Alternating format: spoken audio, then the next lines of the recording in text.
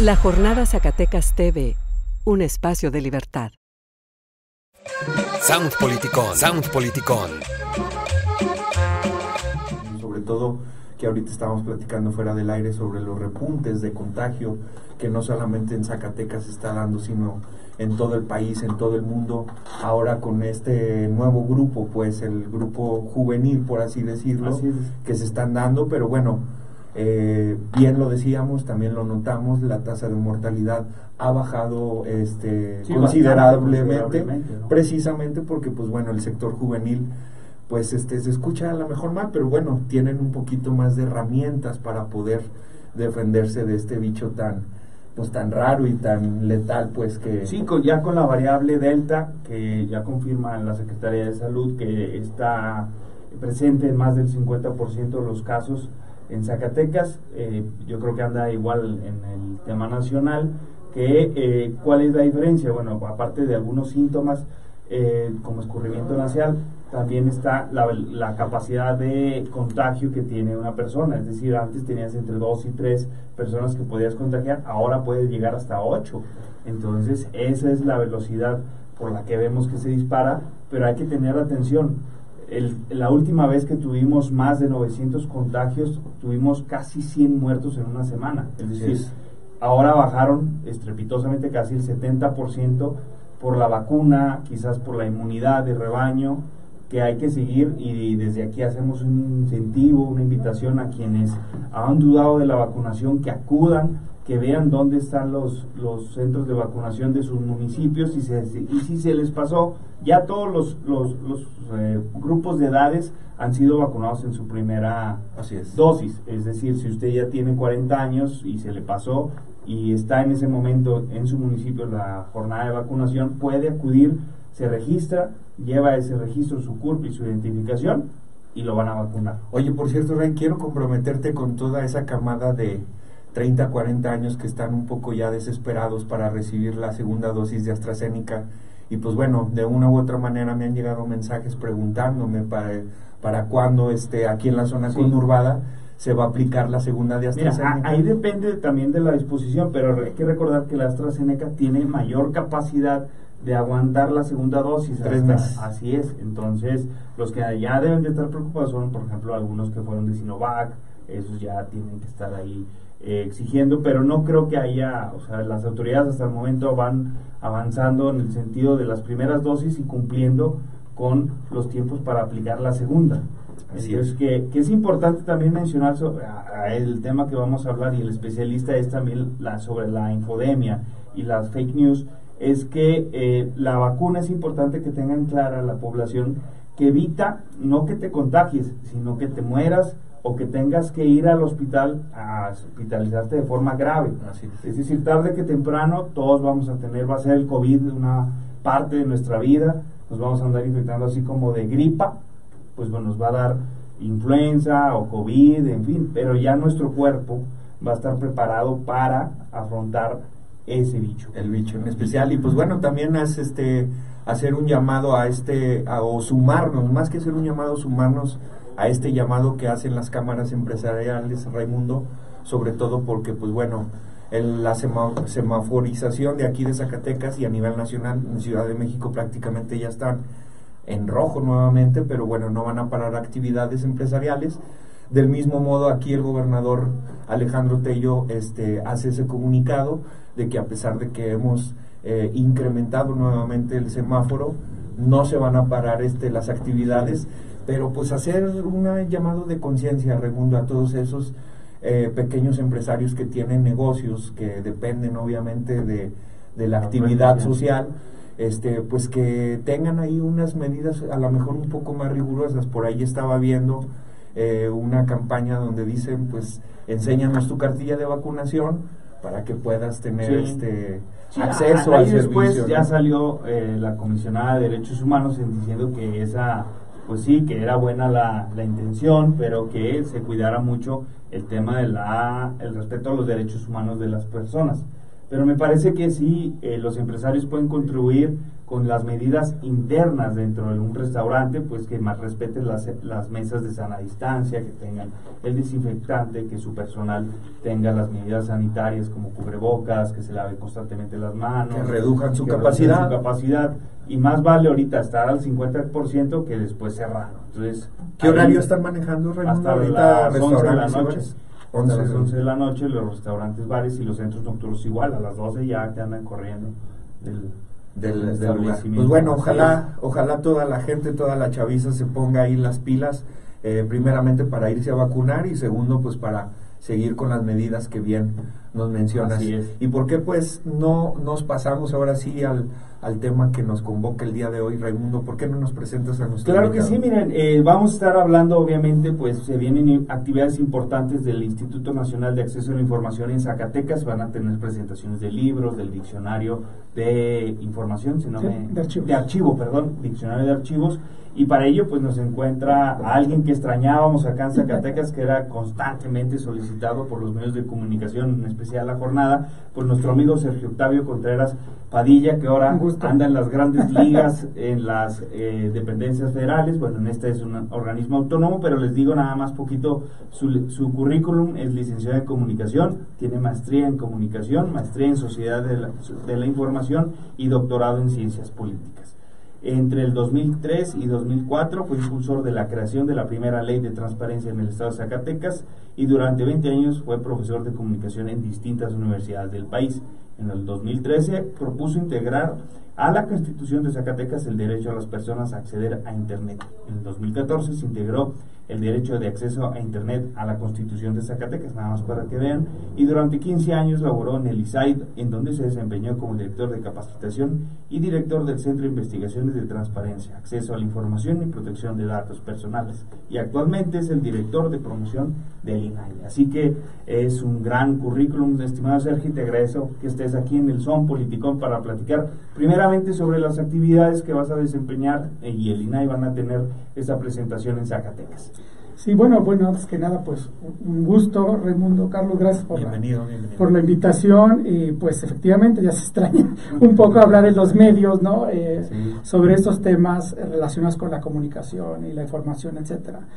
Efectivamente, bueno, nosotros estamos desarrollando una actividad ya desde, desde abril en el, en, el, en el INAI, en el Instituto Nacional de Transparencia, eh, y bueno, agradecer públicamente la, invitación, al menos en mi caso, que me hizo la, la doctora Julieta del Río, que es comisionada nacional, para, para digamos, eh, participar como parte de, de su equipo de trabajo. Y lo que nosotros estamos desempeñando allá eh, eh, en- es, es un área que de hecho coordina la doctora Julieta, y es un área relacionada con la promoción eh, de los derechos que tutela el INAI eh, a través de distintas acciones, ¿no? Y, y esta proma- promoción en qué consiste, bueno, en que cada vez más personas conozcan que tienen, por ejemplo, el derecho a estar informados, ¿no? Es un derecho que está en la Constitución y en, y en diversas leyes especiales, pero que también tienen, eh, por ejemplo, el derecho a conocer qué hacen las instituciones públicas o qué hacen las autoridades con sus recursos públicos, con, los recursos que, los ciudadanos pagan con sus impuestos, o bien eh, que conozcan que, todas las personas, todos los seres humanos, eh, al menos en México tenemos consagrado en la Constitución el, derecho a nuestra privacidad. ¿no? Entonces, la protección de la vida privada y los datos personales son derechos que tutela el INAI y, de hecho como instituto, como instituto Nacional, bueno, tiene la finalidad también. De, de, difundir este tipo de derechos en la población, o sea, que, la gente los conozca. Y bueno, eh, en esta área, te, digo, en esta área de promoción y vinculación de, del derecho, de estos derechos, bueno, se llevan a cabo un, una gran cantidad de actividades. Eh, por ejemplo, eh, tenemos concursos, tenemos concursos nacionales dirigidos, por ejemplo, a niños, adolescentes, a jóvenes que están estudiando la preparatoria. Hay ahorita vigentes dos cursos, dos concursos, perdón, para estudiantes universitarios. Uno es para, para spot de radio, para que hagan un spot de radio relacionado con la protección de los datos personales, y otros para que hagan un ensayo universitario. Este está, por ejemplo, dirigido a, a estudiantes de, de nivel licenciatura y también de posgrado. Entonces, eh, digamos que son distintas acciones ¿no? las, que, las que se desempeñan para tratar de, de, de, abarcar distintos grupos sociales y que, bueno, que la gente conozca estos derechos, estos derechos que ya tienen casi 20 años, ¿no? más o menos, uh -huh. que, que, se reconocen, pero que, que aún falta que, que, mucha gente los conozca. Entonces, eh, dentro de las actividades eh, que, que, también se desarrollan está todo lo que tiene que ver con, con, con la producción editorial. El, el, INAI tiene un programa editorial a través del cual cada año va publicando una serie de libros, sobre todo son libros y también publica cuadernillos con temas especializados eh, en, los, de, en, los, en, los, digamos, en los derechos que se tutelan y en otros temas que están vinculados o relacionados con esos derechos. Eh, este año, por ejemplo, en el programa editorial se, tiene programada la, la, publicación de 12 nuevas obras, de 12 libros. Eh, por ejemplo, hay un libro, precisamente a, propósito del tema que mencionas de la desinformación, hay un libro eh, que está programado sobre lo que tiene que ver la desinformación en la pandemia. O sea, este, este tema que es muy vigente, ¿no? Hay otro libro que tiene que ver con protección de datos personales, hay otra obra que está propuesta sobre justicia abierta, o sea, qué, qué, qué tan abierta es la información en los juzgados, en, en, el campo de los jueces, porque bueno, la información, las decisiones que toman los jueces cuando dictan una sentencia afecta o beneficia la vida de personas. Entonces, es, esa sentido, ¿hasta qué punto la justicia abierta? Y hay mucho debate en eso, ¿no? Sí. Aquí el mismo Nale decía que, que no estaba muy de acuerdo en la actual ley de transparencia porque decía es que, que gana eh, la sociedad cuando se tiene que subir los avances no, y no la conclusión. ¿verdad? O sea, él decía hasta el final que ya hay sentencia, pues vacas. Sí, sí, es algo interesante, claro. Y, y bueno, en ese sentido, lo, lo, que vemos es que cuando, cuando se, se avanza en el ejercicio de un, de un nuevo derecho, esto implica cambiar la forma en la cual trabajan las, las instituciones. Es. es. decir, por ejemplo, a, a propósito del, del, COVID, ¿no? Llega una nueva enfermedad y ¿qué implica? ¿Qué implica, por ejemplo, para el sector médico? Cambiar su forma de vida. O sea, ellos, ellos actualmente trabajan muy diferente como lo hacían hace dos años. O sea, la forma de recibir los pacientes, la forma de darlos de alta, incluso de, de, de, de diagnosticar que tienen, y de cómo dar la información al paciente, claro. a los familiares, ¿no? Por ejemplo, en el IMSS, pues era a través de una aplicación, metías ahí tu clave, número de seguridad social, y pues salía estable, Exacto. avanzó. Sí, o sea, todo esto ha cambiado producto de una enfermedad. Lo que ocurre cuando se reconoce un nuevo derecho, eh, en la, una constitución o aparece una nueva ley, como todas estas leyes de transparencia, de acceso a la información, de protección de datos personales, es que han cambiado la forma en la cual actúa el servidor público. Están, digamos, eh, presionando a las instituciones para que modifiquen la forma de, de actuar, porque ahora tienen que actuar de una forma diferente para tratar de cumplir un derecho que ahora tiene la sociedad es, es, ver las cosas de una forma diferente. Y esto ha costado mucho trabajo en, los últimos, en la última década. Es, es, digamos, picar piedra para tratar de, digamos, de, enseñar a las instituciones públicas que lo que las instituciones hacen con recursos públicos es propiedad de la sociedad. No, no es propiedad de la institución. Y en el caso de los, de, por ejemplo, el sector salud, regresando a COVID, los, los, los médicos que atienden un paciente en, un, en una institución de, del sector salud público, la información que genera el paciente pertenece al paciente, no, no, no pertenece al médico. O sea, estas cosas nuevas son, digamos, eh, los derechos que de alguna otra manera se tienen que promover, se tienen que tutelar y hacia las cuales se desarrollan ciertas acciones. El, INAI desarrolla ciertas acciones, como esto que te comento de, las propuestas editoriales. Y, con base en esto, bueno, el, el próximo viernes 13 de agosto, a las 12 del día presentaremos en el, en el Teatro Fernando Calderón, en un evento organizado entre el INAI y el Instituto Zacatecano de Transparencia, el ISAI, se va a presentar el Diccionario de Archivos. Este, este libro es producto del programa editorial del INAI. ¿no? Es un libro donde participan 19 especialistas coordinados por la doctora Fabiola Navarro. Estos especialistas son pe personas eh, que, digamos, eh, son expertos en el área de archivos. Entonces, el, libro que se presenta está ordenado en forma alfabética. Hay 59 conceptos que ahí se definen sobre archivos. Entonces, eh, ¿qué es lo que estamos viendo en los últimos años? Bueno, la aprobación de nuevas leyes a partir de la Ley General de Archivos y, y, de las leyes estatales, que estas leyes que implica cuando se aprueba una ley, repito, el cambio de las instituciones. Estas nuevas leyes ahora que se han aprobado, eh, digamos, están eh, empujando a las instituciones a que abran ciertas áreas y a que eh, integren a nuevos servicios públicos que no existían en el área de archivos. O sea, las instituciones públicas ahora tienen que tener especialistas en los archivos. Entonces, este, este ¿Por qué nuevo... es importante el tema de los archivos para los que nos escuchan? que Bueno, pues, "Ay, lo que pasa es que- papeles". Exacto. No, Muchos pensamos que bueno, los archivos así lo vemos como acomodar papeles en una, en una bodega o, o como un castigo, ¿no? Al que manda Sí, los archivos porque no lo quiere. Y en realidad no, o sea, los archivos son muy importantes porque sin archivos no hay presente y sin archivos no tenemos el futuro. Si no conocemos el pasado, que son los archivos, pues estamos condenados a repetir los mismos errores en el futuro. En la sociedad en la que vivimos actualmente es una sociedad que se mueve a partir de la información. O sea, nosotros tomamos decisiones en nuestra vida diaria a partir de la información que recibimos. Pero esta información que recibimos proviene de ejercicios de recolección y de reciclamiento de información. En otras palabras, proviene de bases de archivos. Entonces, por ej- ejemplo, ¿no? Eh, hoy vemos, vamos a ver las estadísticas para ver cómo va a estar el, el COVID en México, ¿no? Pues resulta que estamos viendo que el día de hoy más o menos los niveles de contagios están muy similares a los que estaban en enero de este año, en, en los picos, ¿no? O sea, si no tuviéramos esa información, a, a lo mejor no tomamos ninguna decisión sobre nosotros. Lo mismo ocurre cuando, por ejemplo, alguien se enferma, ¿no? Entonces va al médico, este, le dice, ¿sabe que usted tiene el azúcar a- alta? Entonces usted a partir de mañana ya no tiene que comer pan ni tomar refrescos, etcétera. Esa información le permite a la persona pues mejorar su nivel de vida, mejorar su estabilidad, su salud y a lo mejor no, no ponerse en una situación grave. Entonces la información que nosotros tenemos a disposición es, es una información que está almacenada en muchos archivos. Otro ejemplo, nuestros teléfonos móviles. ¿Cuántas cosas no almacenamos ahí? Los teléfonos son un gran archivo de cosas. ¿verdad? O sea, desde los, los memes que mandan en los grupos de WhatsApp que tenemos, por ejemplo, hasta a lo mejor que descargué un libro, descargué la- el diccionario de archivos, lo puedo descargar en mi teléfono, porque también está en formato electrónico. O sea, yo tengo ahí una, una gran cantidad de documentos, de archivos, de, de- de fotografías, de videos. Y al final es Y eso es un archivo, vida, es parte de Es nuestra vida. Entonces muchas veces dices, bueno, es que esta, esta, esta, por ejemplo, estas fotografías que to- me tomé de vacaciones, pues las quiero guardar. Entonces las subo a la nube, las bajo a la computadora, porque si me roban el teléfono, se pierde. Se pierde ese archivo histórico. Entonces los archivos son necesarios en nuestra vida para la toma de decisiones, para, eh, digamos, este, definir cosas, para orientarnos. Los archivos nos, nos ayudan a orientarnos en, en el mundo en el que vivimos.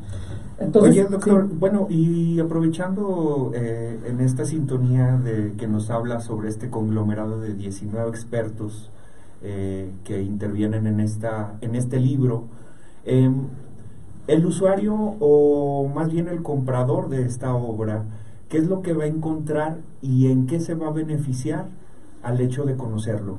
Ah, ¿qué, es lo, ¿Qué es a lo que voy? O sea, yo el día de la presentación del libro compro un ejemplar, voy a encontrar los conceptos más o menos de cómo el INAI este, genera un archivo, ¿no? Me imagino. Cuáles son sus conceptos, cómo se dividen, eh, cómo son clasificados, pero cuál va a ser la finalidad de que nosotros conozcamos esos como ciudadanos. Bueno, aquí hay varias cosas. El, el di- el diccionario de archivos es el tercer diccionario que publica el INAI. Ya, ya publicó uno sobre un diccionario sobre el acceso a la información público, pública, tiene otro diccionario sobre protección de datos y este es el tercero sobre archivos. Los tres temas, la protección de datos, eh, el acceso a la información y los archivos, son temas que, eh, digamos, forman parte de los derechos que tutela y de las actividades que, por, que por ley lleva a cabo el INAI. En el caso de el diccionario de archivos, eh, está escrito en un lenguaje muy sencillo, muy simple. O sea, no es un diccionario para expertos. Lo puede consultar un experto, por ejemplo, alguien que trabaje en el, en el Archivo Archivo General de- del Estado. ¿no? Allá, lo puede consultar, claro. Pero también lo puede consultar un maestro que dé clases en Derecho en la UAS. Y a lo mejor en su materia ven algo sobre, sobre, sobre legalidad de archivos, ejemplo, ¿no? Porque hay una ley de archivos que incluso protege que no se destruyan las obras, ¿no? Y, establece sanciones, que, que tiene algo que ver con lo jurídico. Entonces, lo- eh, di- digamos que el, el- el diccionario está escrito de tal forma que lo pueden entender cualquier persona. Tiene un lenguaje muy sencillo. Y los conceptos que, eh, que, ex- que- que explica son conocimiento, son, digamos, son una puerta al conocimiento y a la entrada de los archivos. Que claro, lo pueden utilizar los especialistas o el ciudadano común y corriente que quiera entender un poco más de la O figura. el empresario, de cómo Ándale, exactamente. Sus, sus archivos sobre su empresa, la historia de la empresa, en fin, ¿verdad? Incluso, sí, incluso Raimundo, a- hay, hay archivos privados. O sea, que, no, no, necesariamente son públicos. Entonces, en el caso de, del diccionario, esta obra explica conceptos muy, muy, este, muy básicos de lo que, de, lo que es el, archivo, el, archivo de concentración, los tipos de archivo, que es un documento. Incluso vienen algunas, algunos conceptos como verdad histórica, ¿no? donde, donde los, los, empiezan, eh, los especialistas los desarrollan, porque al final de cuentas son términos que si bien pertenecen al campo de los archivos, los podemos utilizar en nuestra vida diaria. Y, y, de hecho, falta por ahí todavía un, gran camino que recorrer para integrar eso, este tipo de conceptos, a la escuela, ¿no? sí, a los medios, en fin, otra, o sea, a la, a la, a la a lo que utilizamos, a los términos que, a la socialización. Y lo que tú dices, o sea, cambiar ese chip de que, de que los archivos son el, lugar donde se, guardan y se tiran los documentos, ¿no? O sea, y ahí hay todo una, una Santiago que trabaja en el archivo de la auditoría superior y le hacemos esa broma. Pero no, fíjate, que tan importante. ¿Y cuándo es este evento y dónde? Este evento es aquí en, en la ciudad de Zacatecas, el próximo viernes 13 a las 12 del día. Ah, eh, mm, por cuestiones de, medidas sanitarias, bueno, se va a permitir nada más el acceso a, pocas ah, personas en el Teatro Calderón, eh, pero, eh, pero se puede seguir la transmisión en las redes sociales, abierto a todo el público. También en, durante la transmisión se van a, dar a conocer los enlaces por si la gente quiere descargar el archivo, digamos el diccionario está, es gratuito en forma electrónica lo pueden descargar de la página del INEI. Y de hecho eh, son libros que, no tienen ningún costo, o sea, son ¿Y libros... En, ¿Y en forma física dónde los vamos a poder encontrar? Bueno, en forma física va a haber algunos ejemplares en, el lugar de presentación y si alguien está, digamos, interesado en, obtener el, diccionario impreso, bueno, nos puede escribir o nos puede mandar un correo electrónico al INAI. Les paso mi correo, es sergio.contreras arroba inai.org.mx. Ahí está. Muy bien, ahí está nuevamente sergio.contreras arroba inai.org.mx. Ahí anótenlo para, para, que, para solicitarlo. Sí, siempre es importante tener, y precisamente como tú dices, doctor, el hecho de que tengamos esa base de conocimientos nos va a evitar este entrar a, a ese tema actual que está ahorita, ¿no? En este en esta era digital como bien ya lo decía Raimundo, en la infodemia, de que entremos en las fake news, en, las fake news. Ya incluso hasta el presidente tiene su su la sección su, sección. especial no para para, desmentir para desmentir pero pues bueno ahí ya les, ya, ya, ya, ya, le salieron ahí el tiro por la culata ¿va? donde ahí la encargada de quién es quién es la mentira pues disvaría no el hecho de que pues no exageren sí es cierto pero pues no exageren va pero pues bueno eh, Ahora, pues nuestra pregunta, doctor, eh, ¿cómo evitar, cómo evitar este, caer precisamente en esos chascos este, a nivel personal, a nivel pues de medios, de que de, profesional de medios, de que se pueda este, esparcir a lo mejor una mala noticia, una falsa noticia, de que el público incida precisamente en esa infodemia, la distribuya malamente, pues precisamente cómo, cómo poder evitar eh, caer eh, en esa desinformación, en esa infodemia, en esas fake news, eh, pues no tratar de hacer un poquito más o expandir algo que es totalmente falso, ya los, nos los decías fuera del aire, pues bueno, el hecho de que pues vayan a vacunarse tal y tal sector, pero espérate, ellos todavía no, este, ni siquiera ha salido la vacunación o el lote para ese sector y porque ya, ya se está circulando. Bueno, ese es, es un ejemplo de, los miles y millones pues de, de, cosas que circulan ya en redes. ¿Cómo, cómo evitar eso, eh, doctor Sergio? ¿Cómo poder este, eh, identificar claramente de dónde malamente viene esa mala información? Bueno, eh, primero voy a intentar contextualizar un poco. Eh, lo, que, lo que hemos visto en las últimas 20, eh, dos décadas, digamos, o 20 años, es que mm, uno de los rasgos que caracterizan a, nuestra sociedad es la información. O sea, somos una sociedad, de hecho somos la sociedad que a lo largo de la historia humana tiene más canales y medios para informarse. O sea, hace 30, 40, 50 años no teníamos todas las tecnologías que hoy tenemos. Medios de comunicación tradicionales, que ya vienen desde, algunos desde el final del siglo XIX, la radio, la televisión, etc. Con nuevos medios que se potencian con, con Internet, todos los servicios de mensajería, las plataformas, todos estos blogs que aparecieron a finales de los 90, eh, y no se diga las redes sociodigitales. Entonces, somos una sociedad que tiene a su alcance una gran cantidad de medios, pero son medios donde circula información y las personas eligen qué informarse, o bien dan la posibilidad a las personas de crear sus propios contenidos. Entonces, ahí es donde empieza este problema que tú mencionas. El problema se origina con la posibilidad que tienen los usuarios de las nuevas tecnologías de construir sus propias narrativas. Entonces las personas abren una página en Facebook o abren un perfil en Instagram y publican fotografías, videos, lo que las personas quieran. Las personas publican lo que ellos quieren porque tienen la libertad de hacerlo. ¿Sale? Entonces, esto que ha generado que eh, vivamos en una sociedad de una gran cantidad de opulencia informativa. Hace 20 años, cuando estábamos precisamente promoviendo eh, las primeras leyes de transparencia y de acceso a la información, porque el Estado, los gobiernos no, no, abrían la información al público, pues eso ha quedado, digamos, en la historia. Porque lo que ahorita tenemos es una gran cantidad de información que hace 20 años no teníamos. Entonces, ese es, el, digamos, el primer punto.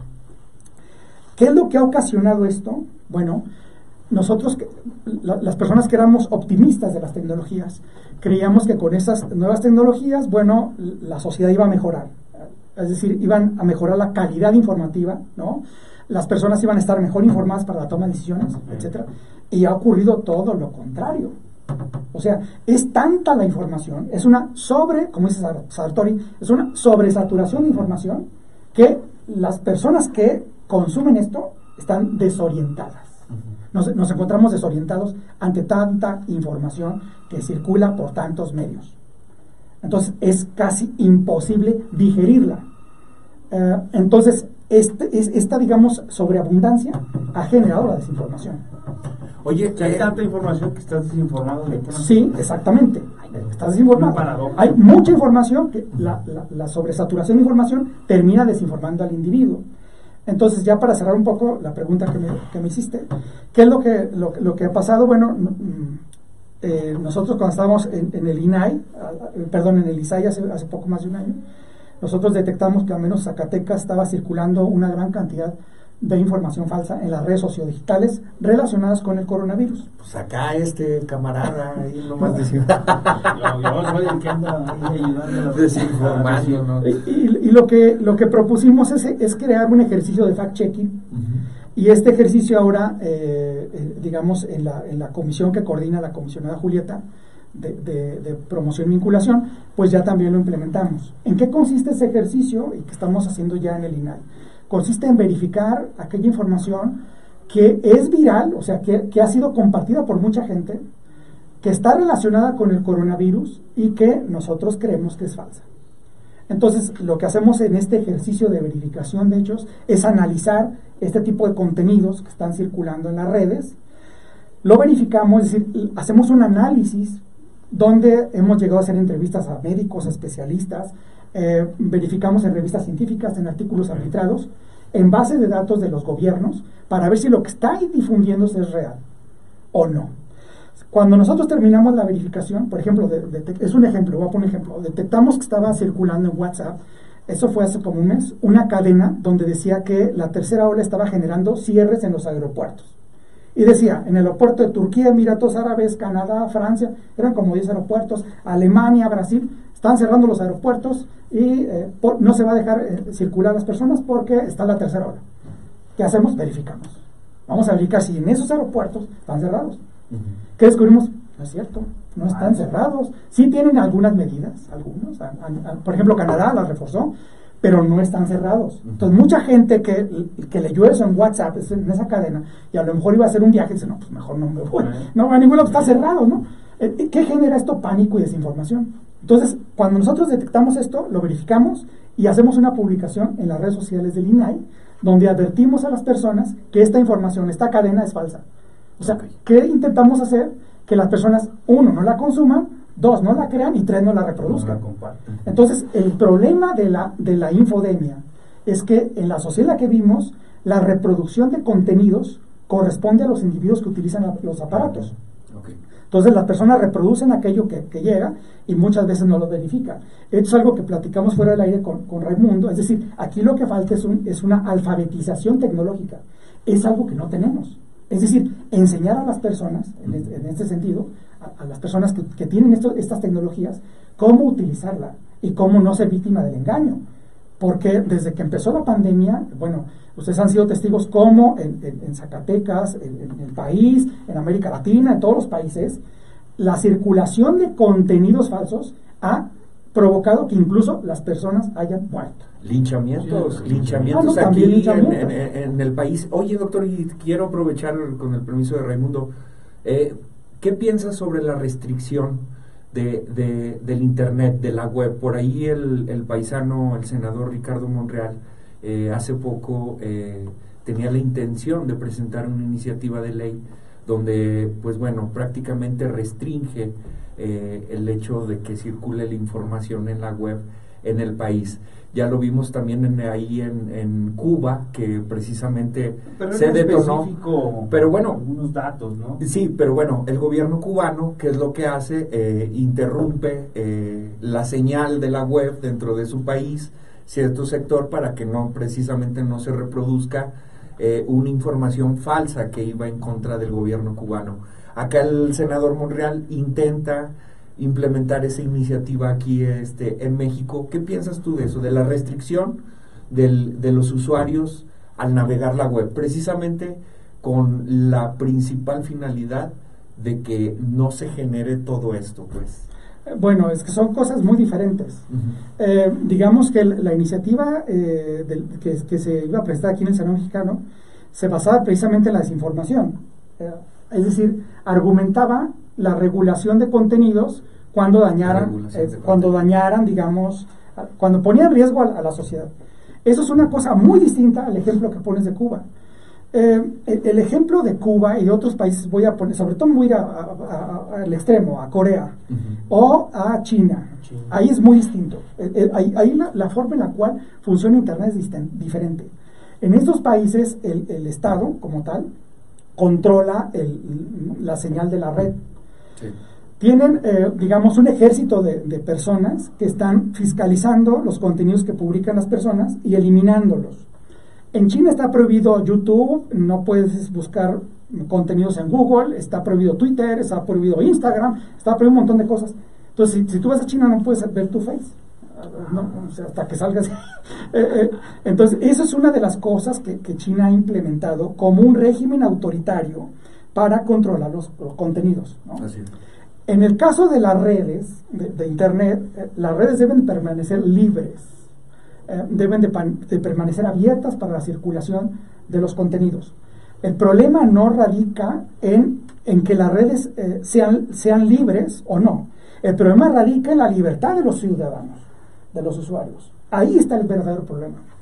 Es decir, las personas se convierten, al, abrir, por ejemplo, un perfil en Facebook, en, en, sus propios medios de comunicación. O sea, hay gente que abre un, su perfil en Facebook y ya se dice periodista. O sea, ya comienza a compartir y a generar opinión pública, ¿no? Cuando no sabemos si lo que está diciendo es verdad o no. ¿De qué fuente? de, qué fuente? sí, los influencers. Esto de los influencers es tremendo. O sea, lo que dicen los influencers, ¿no? Lo consumen millones de sus seguidores. Ahora, lo que dicen, no sabemos si lo que dicen esté basado en evidencias científicas o, o son ocurrencias. Este es el gran problema. Entonces, yo creo que Internet y las redes, de redes deben permanecer abiertas. La libre circulación. Ahora, lo que hacia donde nos debemos dirigir es hacia la educación de los usuarios, desde que son niños. O sea, educarlos que estas redes son, tienen una gran potencia. Y, tú mencionas el caso de los linchamientos.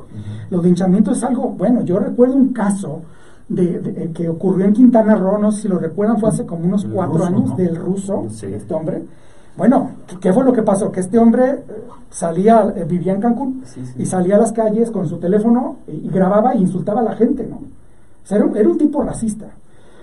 Bueno, un grupo de personas abrió una página en Facebook Sí. Eh, contra el ruso. Eso fue lo primero que hicieron. Y empezaron a- y súbanse, ¿no? Entonces la gente empezó a seguir esa página y, y- y- y en la página lo que generaron fue un- una especie de linchamiento digital, ¿no? Claro. Entonces dijeron, Que terminó la agresión. y terminó la agresión. Entonces, en la página convocaron a las personas a, a las 6 de la tarde, a- nos vemos afuera, a las 6 de la tarde, ¿no? Pues llegaron como 300 personas con palos, piedras, machetes, ¿no? Incluso fue, el, eh, eh, digamos, el extremo que había drones grabando y transmitiendo, transmitiendo en directo ese linchamiento. Y sí, lo lincharon al pobre, ¿no? casi lo mataron. O sea, ese es un ejemplo de, de que las redes, bueno, lo que uno comenta y dice en las redes, trasciende y puede trascender a la vida, a la vida Es que física. eh, eso es algo que a veces la, la gente común, incluso los políticos, no lo- les queda claro, ¿no? O sea, que es lo que tú pones en Facebook, nosotros ponemos mucho el ejemplo de la jornada, es, es como si convocaras una rueda de prensa, ¿no? Y sasca, te avientas y dices una barbaridad, y pues de ahí te agarra, ¿no? Claro. Entonces tienes que tener mucha educación y saber las repercusiones que tiene una foto, un video. Pues ya vimos a Yostop, este caso de la YouTube. Está en la cárcel. Que, que está en la cárcel precisamente por su imprudencia, por no conocer las leyes, por no conocer que tener pornografía infantil Claro. es un delito, compartirla, comentarlo. Y ahí están las consecuencias de la ignorancia de una influencer que también termina por afectar ahora en estas Exacto. nuevas, nuevas este, tecnologías la influencia que tienen sobre los adolescentes, ¿no? Eh, veíamos en este documental de Netflix de las redes sociales, ¿no? De cuántas fotos se tienen que tomar, creo que son 90 fotos para subir una. Sí, las demás salí, no salió bien ¿no? el perfil. Y todavía los filtros, o sea, viene una, una, una- un debate muy interesante sobre incluso sobre los filtros, ¿no? Decir, bueno, Ajá. quítalos, ¿por qué necesitas que te o sea, ponerte, que te aclaren la piel, que te la alisen? Sí, claro, te quitan las, los- las patas de al final la- el clásico, el del Tinder. El del Tinder, ¿no? oye, pues tú no eres el de la foto, O sea, ¿cómo no? demandas, este, pero es un fue hace debate 10 muy interesante, ¿no? Que, Sí. que viene y, y que creo que a lo mejor el INAI tendría que ir comenzando a, a hacer estas discusiones, ¿no?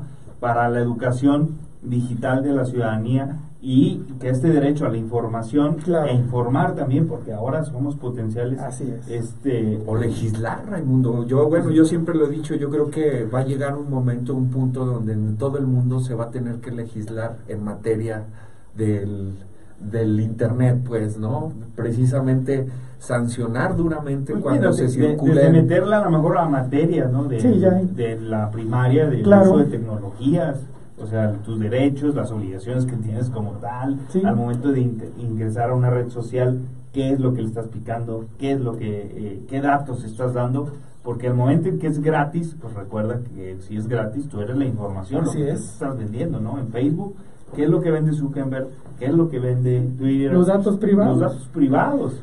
Sí, y fíjate, fíjate sobre esto, eh, Raimundo, es, es- es algo interesante que, que lo, lo que mencionas. Es decir, em, la- las tecnologías posibilitan el ejercicio de ciertas libertades. Las personas tienen la libertad de informarse, las personas tienen el derecho de expresarse, también se expresan, pero estas libertades, si, si- si- si te fijas, son, son derechos que de alguna otra manera están tutelados por el INAI eh, sobre todo el, el derecho a la información. Entonces, por eso es, es importante tratar de, de- de combatir la infodemia y todo este tipo de contenidos cuando ponen en riesgo otros derechos, como el derecho a la salud. Ahora, respecto a lo que, a lo, que mencionan sobre las libertades, ninguna libertad es absoluta. O sea, eso que mencionas de los, de, de- de- los influencers es cierto.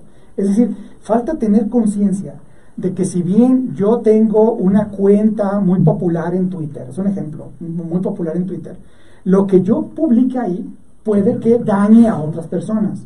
O sea, mi libertad de expresión también está delimitada cuando lo que yo comunico daña a otros. Sí, No- es no una son difamación o... Sí, no, no son libertades absolutas. Y creo que eso se ha, se ha- se ha perdido, ¿eh? Sí, se, se, Se, se se ha pone sobre la libertad de expresión. Ándale. Si todo el mundo se defiende ante lo que publica la libertad de expresión, claro, tú eres libre de publicar lo que quieras, pero ojo con lo que estás publicando, o sea, a lo mejor estás publicando chismes, rumores, noticias falsas, etcétera, que pueden dañar a terceros. Entonces, la mayoría de las personas creo que no somos conscientes de esto. O sea, vivimos en una sociedad donde no tenemos conciencia todavía de los límites de nuestras libertades y sobre todo de este límite de la libertad de expresión, ¿no? O sea, creo que la libertad de expresión está desbocada. En México yo no veo tanto la censura, ¿eh? sino más bien lo contrario, la saturación de información, ¿verdad? Y la difusión de una serie de contenidos desde la privacidad de los individuos, o sea, desde sus canales particulares, que los hacen públicos y muchas veces eso que hacen público se convierte en un contenido viral que puede afectar a terceros, a, otras personas, a una comunidad, etcétera, precisamente por la, por, por, la, por la ignorancia que se conoce sobre los límites de la libertad. Pues ya lo veíamos, ¿no, Raimundo? También ahí este, con Donald Trump, que hace precisamente ese uso de libertinaje en redes sociales, sobre todo en Twitter, donde eh, hace una convocatoria al Capitolio en vísperas es de... como la cúspide, ¿no? Del, del, del manejo Del manejo, efectivamente. Y a, a conveniencia de un sector y también, pues, de- de- el paso que vamos a dar sobre la regulación de las redes sociales, ¿no? Es quién dice que sí o no sobre este debate de que no debieron de censurarle la cuenta a Donald Trump o sí debieron censurarle, porque los medios allá le bajaron el switch, ¿no? Al Sí, totalmente. dijeron, Sí, lo cerraron. Lo cerraron. Sí, así es, sí, sí, bueno, fue, fue preocupante por el hecho de que, pues bueno, sí es un, un- hay un conjunto de Pero simpatizantes eso y... como que le ayudó a la narrativa de Trump, ¿no? De decir, ya ven, los medios son los que otra Sí, vez... de hecho, este, desde que Trump estaba, ponen- estaba en campaña, esa era su narrativa. Su narrativa es que lo- to- todos los medios eran fake news. ¿no? O sea, Exacto. le decía eso a la CNN, le decía a fake news, fake news. fake news. Estaban en la rueda de prensa le da fake news. Oye, entonces tú ves acertada esta medida que toma el presidente en generar esta nueva área con esta persona, Elizabeth eh, Ah, García, sí, a la de quién es quién. eh, la de quién, y quién es la mentira, ¿crees que sea beneficioso pues para el Eh, gobierno? no, no sé si sea beneficioso, pero, pero lo que sí es que es una práctica nueva. O sea, eh, hay, hay que ver aquí otra cosa. Eh, el, digamos, el, el posicionamiento de los medios. O sea, los, me- los medios de comunicación, cuando se expande Internet, entra en una terrible crisis. Los medios de comunicación tradicionales. De hecho, la crisis todavía la, la Sí, sí, arrastra. sí, sí. Es una crisis donde las personas comienzan a cuestionar a los medios y decir que, bueno, lo que han difundido a lo largo de toda de, de la historia han sido puras mentiras, ¿no? Entonces, este cuestionamiento, si, si te digas, eh, eh, fue una curva donde la sociedad depositó sus esperanzas informativas en los nuevos medios, Sí. eh, en las redes, pero eso va de bajada ahora. O sea, Sí, ahora, ahora. ahora, ahora, por ejemplo, para consultar cierta información, ¿qué hacemos? Pues vamos a un medio, eh, digamos, que tenga cierta credibilidad. No, no pues que lo publicaron en, en Acceso SAC, ¿no? ¿Quién es? O sea, Acceso SAC, y, y- y vean, Acceso SAC tiene Sí, casi sí, medio sí, millón de personas sí, que lo siguen, claro. y, y toda la gente comparte y publica eso, y, y- y, digamos, sigue esa página, ¿no? Pero Acceso SAC no tiene ningún sea, rigor no, no, no es periodístico. así necesario. es. ¿Dónde lo viste en acceso? Acceso? Ah, Así es. Sí, bueno, son páginas que se enfocan más al, al- así, amarillismo y aún así, pues bueno, es, es lo que consume la gente, lamentablemente. Exacto. Entonces, ¿qué es lo que necesitamos actualmente? Ya, con esto me voy a cerrar. Necesitamos medios, medios profesionalizados, medios especializados en, campo, en, en la investigación. En campo. Necesitamos regresar esos espacios que hemos perdido. Sí. ¿Por qué? Para, precisamente para combatir toda esta infodemia y todas esas cosas que... Pues Sergio, se nos terminó rápidamente el tiempo, te agradecemos mucho eh, la visita, te deseamos todo el éxito en esta presentación, ¿nos lo repites nuevamente el día? Sí, la presentación es el diccionario de archivos el próximo viernes 13 a las 12 horas en el Teatro Fernando Calderón de la ciudad de Zacatecas y la transmisión del acto se va a realizar a través de las redes sociales del INAI y del ISAI. Perfecto, pues bueno, ya lo escuchó ahí todos los que nos sintonizan, los que nos ven a través de las redes sociales, camarada, muchísimas gracias. Igualmente, estimado Sergio, muchas No, un gracias. gusto, por un gusto verlos otra acá. vez. Y pues a todos ustedes, gracias, nos vemos la próxima semana. Sound Politicón, Sound Politicón.